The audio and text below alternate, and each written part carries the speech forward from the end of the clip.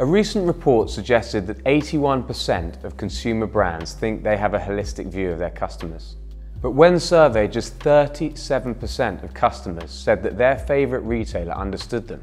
When asked about the average retailer, that percentage plummeted to just 22%. Clearly, there's an enormous gap between how successfully brands believe that they're understanding and engaging with their customers and the reality that their customers perceive. So what can be done? At IBM, we think our Watson cognitive computing platform can help. Watson is able to understand natural language, ingest a wide range of structured and unstructured data, and learn and improve its hypotheses over time, which could be of huge value to retailers. Of course, with consumers, that data needs to be treated with care and kept safe but 84% would trade their personal information to gain a more personalised and engaging experience. And by 2018, companies who've invested in online personalisation will outsell those who haven't by over 30%. IBM Watson's Personality Insights API is a part of the next generation of customer behaviour and loyalty analytics.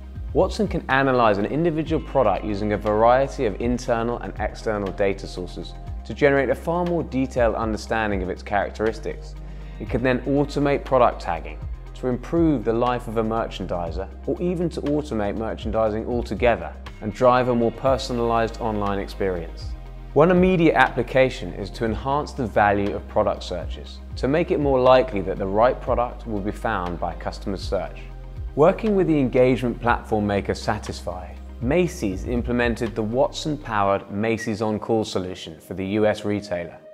Using a mobile browser, visitors to participating stores can ask questions in natural language. And across 10 stores, Watson's natural language classifier interprets the questions and recommends answers based on that particular store's layout, facilities and stock, which are delivered through Satisfi's interface.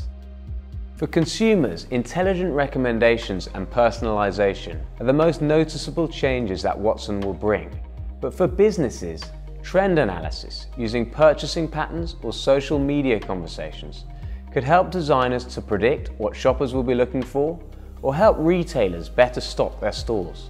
By sharing data across IBM Marketing Cloud using the power of Watson, businesses of every kind can begin to close the gap in understanding and create that truly holistic view of their consumer. That is the holy grail that most are still far from delivering. The technology and insight is now sufficiently mature to make this dream a reality.